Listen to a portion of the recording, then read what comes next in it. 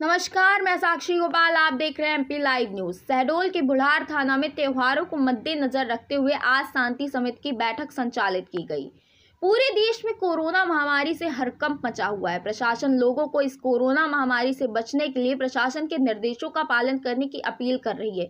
इसी बीच त्योहारों में किसी तरह की घटना न हो, थाना बुढ़ार ने नगर के गणमान्य नागरिकों व पत्रकारों के साथ थाना में बैठक ली है।